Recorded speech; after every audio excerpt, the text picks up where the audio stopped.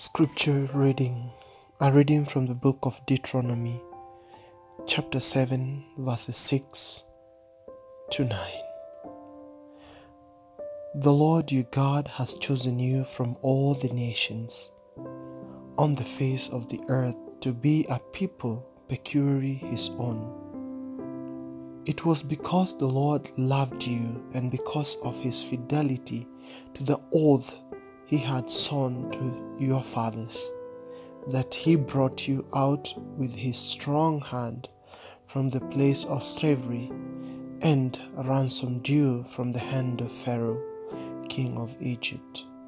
Understand then that the Lord your God is God indeed, the faithful God who keeps his merciful covenant down to a thousand generations towards those who love him and keep his commandment.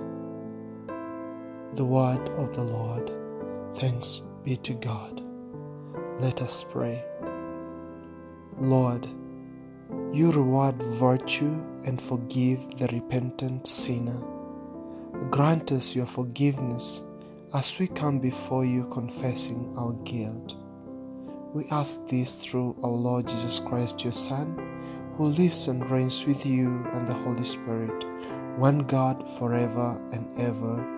Amen. Glory be to the Father, and to the Son, and to the Holy Spirit, as it was in the beginning, is now, and ever shall be, world without end. Amen.